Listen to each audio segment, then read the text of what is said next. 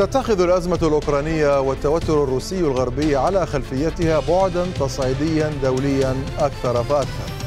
وهو ما تجسد خلال جلسة مجلس الأمن الدولي التي بحثت هذه الأزمة بطلب من الولايات المتحدة وشهدت مواجهة بين موسكو وواشنطن على وقع المزيد من الضغوط الغربية على روسيا. ضغوط تتراوح بين التهديد بالتصعيد العسكري والتلويح بسيف العقوبات. هل تنهي جلسة مجلس الأمن هذه الأزمة أم تصاعدها؟ هل تشكل العقوبات رادعا لروسيا أم العكس؟ وكيف يمكن لهذه الأزمة أن تنتهي؟ لمناقشة هذا الموضوع معنا من واشنطن الباحث في القضايا الأمنية والخارجية آدم روزفلت ومعنا من موسكو الدبلوماسي الروسي السابق ألكسندر زاسبكين مرحبا بضيفي سيد روزفلت مرحبا بك معنا من واشنطن جلسة عادية لمجلس الأمن. دائما في مثل هذه الأزمات يكون هناك تسجيل نقاط لفظية تسجيل مواقف إعلامية ونقاط في العلاقات العامة. لا أدري إذا كنت تابعت هذه الجلسة أم لا. من الذي فاز برأيك في هذه الجولة؟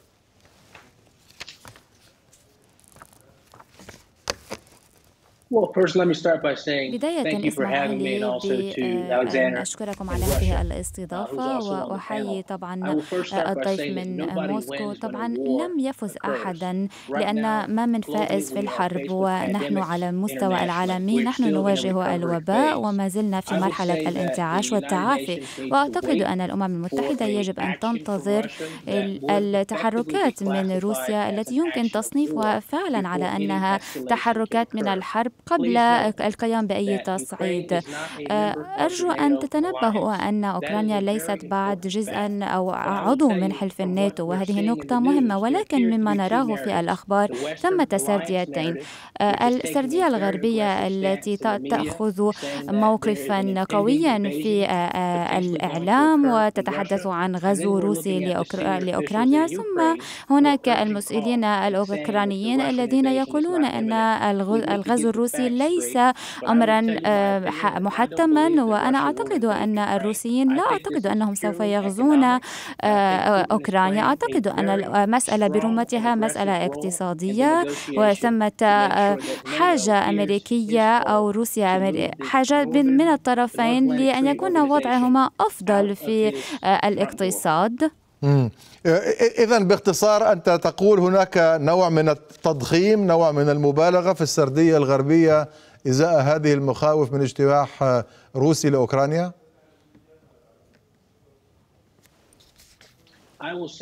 أقول إنه استنادا لما يمكننا تقييمه لقد قرأنا ذلك وقد استمعنا أيضا من المسؤولين الأوكرانيين. لقد حثوا على الهدوء وقالوا إن الغزو ليس محتما وليس قريبا وليس وشيكا. أعتقد أنه من المهم أن نفهم ما يحدث على الأرض على الميدان ويبدو أن هناك سرديتان أعتقد أنا كمحلل يجب أن نسمع ممن هم على الأرض في الميدان ولا يمكننا لا يمكنني أن أحدد أحدد ما إذا كان هناك مبالغة أو لا ولكن أعتقد أن روسيا لا تريد أن تدخل في حرب وهي تعلم أنه طبعا سوف تواجه العقوبات وأن الحرب مكلفة جدا. لا سيما أننا ما زلنا في حالة وباء وطبعا سوف يكون هناك حملة كبيرة من العقوبات. طيب سيد ألكسندر زاسبكين من موسكو مرحبا بك. معنا أرجو أن أكون لفظت اسمك بالشكل المناسب. الرئيس الأمريكي جو بايدن. I'm sorry I am fully sorry but I I like to speak Arabic. نعم نعم تفضل تفضل باللغة العربية. Please. سيد ألكسندر تسمعني؟ نعم. طيب أنت تفضل الحديث باللغة العربية ونحن نرحب بذلك. دعني نعم. أستعرض معك بسرعة ما قاله الرئيس الأمريكي جو بايدن حول هذا الموضوع. يقول إذا تخلت روسيا عن المسار الدبلوماسي وغزت أوكرانيا ستتحمل المسؤولية وتواجه عواقب وخيمة وسريعة. اجتماع مجلس الأمن هو خطوة حاسمة لجعل العالم يوحد الصوت بشأن هذه الأزمة. بداية هل وحد العالم الصوت بعد هذه الجلسة؟ هذه جلسات كما أشرت قبل قليل اعتدنا عليها في مثل هذه الأزمات. كل دولة تحاول أن تدعم موقفها وتسجل نقاط لصالحها. ما الذي استفدناه من جلسة مجلس الأمن هذه برأيك؟ في رأي روسيا أن هذه الجلسة هي غريبة جدا فهي مبنية على مبادرة الأمريكية الطرف الذي اخترع كل هذه المشكلة. ومنذ الأول وخلال الأشهر الأخيرة تقف روسيا بحزم إلى أنه كل ما يحدث مفبرك كل يوم كل يمر كل ما يمر الوقت فنحن نرى أنه ربما هذه هي خطة مدروسة مسبقا الأمريكية بريطانية أو بريطانية أمريكية هذا غير واضح ولكن التوجه الاستهداف روسيا أولا ثانيا أوكرانيا لا يهمون بها على الإطلاق أي ورقة فقط لديهم استغلال هذا الموقف الأوكراني وثالثا استهداف أوروبا القارة الأوروبية بريطانيا خرجت من الاتحاد الأوروبي والآن يحاولون طيب. هم أمريكا وبريطانيا أن يخلق المشاكل للدول الأوروبية. هذا ما هو يحدث. هل هذا سيؤدي إلى الحرب؟ نحن لا نعرف. ولكن الهستيريا مستمرة وهذا شيء خطير وخاصة إذا حصل استفزاز من الجانب الأوكراني. بالتحديد طبعا الرئيس زيلينسكي هو خايف الآن كثير من انزلاق للحرب فلذلك تراجع في كلامه. ولكن هناك متطرفون وهناك خصوم لزيلينسكي وربما يستغلون فرصة للقيام باستفزازات خطيرة طيب. ضد دونباس. وهذا الشيء الخطر الأساسي. طيب يعني سيد ألكسندر أنت تقول كل المسألة مسألة مفبركة مهولة مضخمة من قبل هذا التحالف الانجلو ساكسوني كما كما أشرت الأمريكي البريطاني. ولكن المعطيات على الأرض تشير إلى عكس ذلك. السفيرة الأمريكية لدى الأمم المتحدة ليندا توماس جرينفيلد تقول لدينا أدلة على أن روسيا تنوي توسيع وجودها إلى أكثر من ثلاثين ألف جندي قرب الحدود البيلاروسية مع أوكرانيا في أوائل فبراير. القوات الروسية ستكون حينئذ على بعد أقل من ساعتين شمال كييف. هذا فيما يتعلق ببيلاروسيا ولكن أيضا على الحدود الروسية الأوكرانية نتحدث عن حوالي مئة ألف جندي روسي المعدات المتطورة من الصواريخ إلى القاذفات إلى المدافع إلى آخره. كيف يمكن الحديث عن فبركة لهذا الأمر؟ والتحركات العسكرية واضحة في الميدان سيد ألكسندر. اولا الحديث عن مئة ألف هذا حديث أمريكي وربما مخابرات الأخرى. وليس حديث روسي. واليوم نافى مرة أخرى المندوب الروسي نيبنزا في الأمم المتحدة هذا الموضوع. حتى بالنسبة ل 30 ألف هذا أظن أنه إشارة إلى التمارين العسكرية الروسية بيلاروسية. على كل حال حتى ولو افترضنا أن هذا صحيح وهناك مثل ما تفضلت 100 ألف و 30 ألف فهناك على الأقل 120 ألف جندي أوكراني هناك. والحديث الأوكراني الرسمي أن القوات الروسية غير كافية للقيام بالهجوم وهذا واضح تماما. علاوة على ذلك يجب يكون المفهوم للعالم للأسف الشديد أن هذا دائما الاعتماد على المعلومات السفيرة الأمريكية أو مخابرات أو شيء. ممكن نتذكر كولين باويل الذي أيضا كذب في المجلس الأمن وقبل الحرب ضد العراق.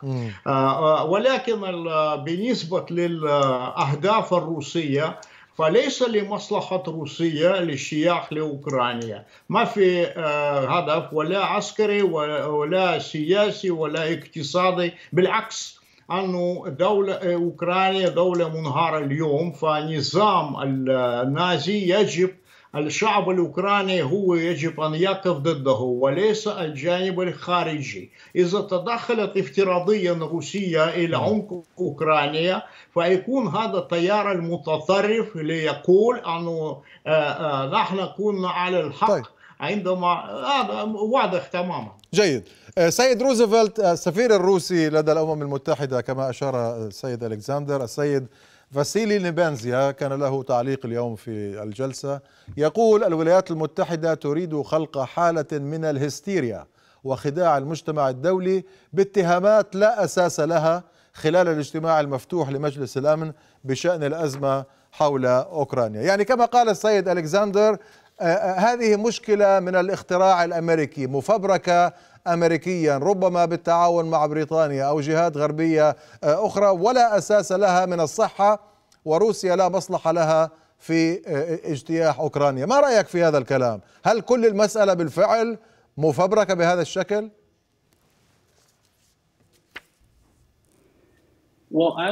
حسنا أنا أقول كجهة حكومية فإن الولايات المتحدة تركز على استخدام الاستخبارات من أجل الحصول على الوقائع. هذا أولا. ثانيا أن الحشد العسكري في مناطق أساسية تمثل أماكن نزاع محتملة. هذه محاور نعلم أنها أدت إلى آه، طبعا مشاكل وأن روسيا كانت طبعا كانت معنية في آه، التشكيلة الحكومية في أوكرانيا هذا أمر وأمر ثاني. كان هناك هجوم سبراني ضد أوكرانيا وأعتقد أن روسيا كانت خلف هذا الاعتداء السبراني لأن هناك أداة آه، قادرة من خلالها على التحكم بمصادر مهمة إذا كانت آه، أو تتيح لها معرفة معلومات بشأن العسكر الأوكراني. وأعتقد أن هناك سرديتان كما طرح طرحت من قبل ويجب مناقشتهما وأعتقد أن الاستخبارات الأمريكية والحلف أعضاء الحلف الناتو يجب أن يتناقشا ولكنهما صارمان جدا فيما يقولانه وطبعا يجب أن يكون هناك معلومات استخباراتية. ومن دون الحصول على ذلك لا أرى أن الجميع أو أيا كان يمكنه أن يتطر يت... يأخذ الكلام ويتحدث أمام الجلسة من دون أن يكون لديه معلومات استخباراتية دقيقة أعتقد أنهم أنجزوا فرضهم إذا صح التعبير ولكن ربما قد لا يكون ذلك في مصلحة سياسية ولكن لا يمكن التحدث من دون أي وقائع. طيب سيد ألكسندر الناطقة باسم البيت الأبيض جين ساكي تقول الولايات المتحدة أعدت عقوبات تستهدف أفرادا من النخبة الروسية وعائلاتهم إذا غزت روسيا أوكرانيا. واشنطن حددت أفرادا ينتمون إلى الدائرة المقربة من الكرملين يدورون في فلكها. هؤلاء الأشخاص كانوا اهدافا للعقوبات بسبب علاقاتهم المالية الوثيقة مع دول غربية. حديث متزايد عن آه، فرض عقوبات على روسيا ربما على آه، آه، الطبقة أو الحلقة المقربة من الرئيس بوتين. ربما على الرئيس بوتين نفسه في حال كان هناك تحرك عسكري ما. ولكن البعض في الغرب يقول أنه روسيا لن تجتاح بالضرورة أوكرانيا عسكريا من خلال الحدود وكل هذه الأمور. قد يكون هناك هجوم سبراني هجوم آه، إلكتروني. قد يكون هناك محاولة آه، القيام بانقلاب آه، تنصب من خلاله روسيا شخصية موالية لها في أوكرانيا. هل هذه السيناريوهات محتملة من وجهة نظرك؟ صحيح ونحن نرفض كل هذه الأشياء جملة وتفصيلا.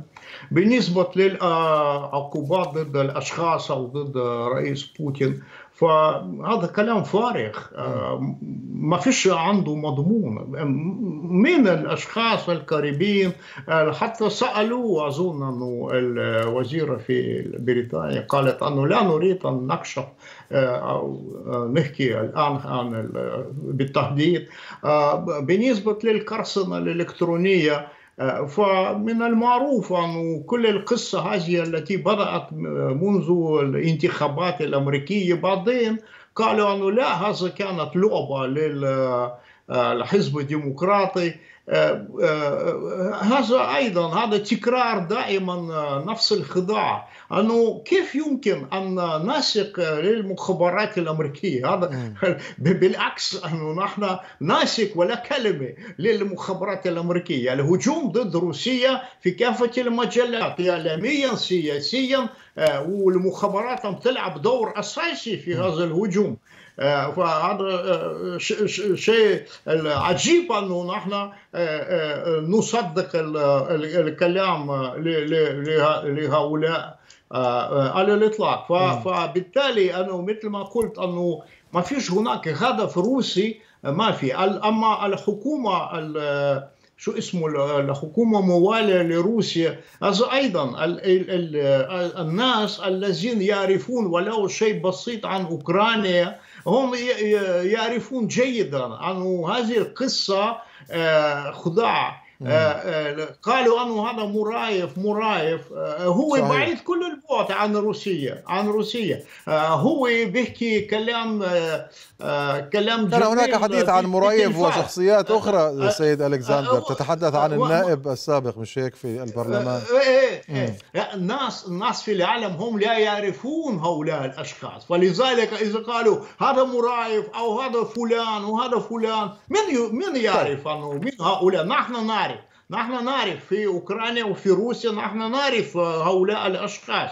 أما العالم لا يعرف. كيف بصير أن المجتمع الدولي يعرف أن الروسية تريد الحكومة موالية لها؟ هذا هذا الشيء مضحك مبكي. طيب سيد روزفلت قبل قليل كان هناك تصريح للخارجية الأمريكية يقول أن الولايات المتحدة مساعي الولايات المتحدة لا تهدف إلى إثارة الهلع بقدر ما تهدف إلى إظهار الردع في حال قرر الرئيس بوتين أن يمضي قدما في مسألة اجتياح أوكرانيا، هل نحن نسير باتجاه مزيد من التصعيد برأيك أم أنه القنوات الدبلوماسية قد يعني تكون فعالة أكثر في الفترة القادمة خاصة وأن هناك أصوات بدأت ترتفع في الغرب بشكل أوضح فرنسا ربما ودول أخرى تريد التشديد على هذا المسار الدبلوماسي.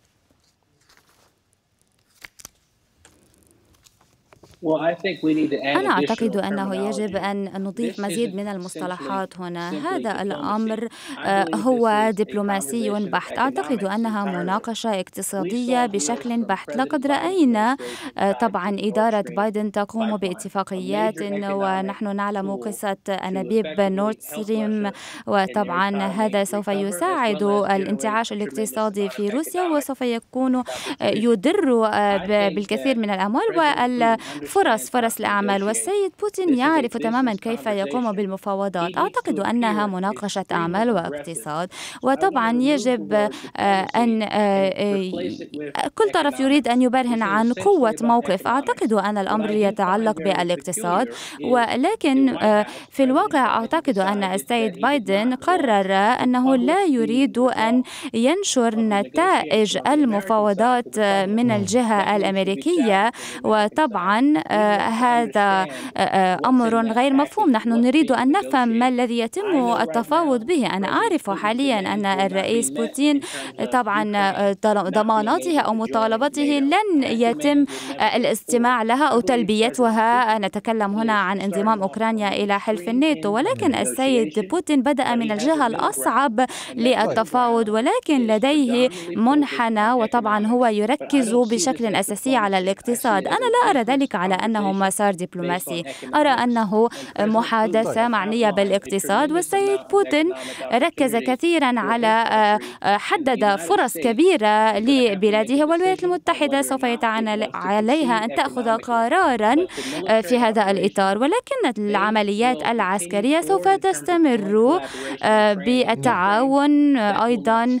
وطبعا هذا لن يتوقف. وطبعا أكرر أن هذا الأمر يتعلق بالإقتصاد. طبعا ولكن أيضا المساعي الدبلوماسية ما زالت قائمة. هناك اتصال غدا اتصال هاتفي بين وزير الخارجية الأمريكي ونظيره الروسي. هناك ربما زيارة مرتقبة ولقاء شخصي بين الرئيس الفرنسي ماكرون والرئيس بوتين. سننتظر على كل حال لنرى نتائج هذه التحركات. أشكرك السيد آدم روزفلت الباحث في القضايا الأمنية والخارجية كان معنا من واشنطن. وأشكر ضيفنا من موسكو الدبلوماسي الروسي السابق السيد ألكسندر زاسبكين. شكرا جزيلا لكما.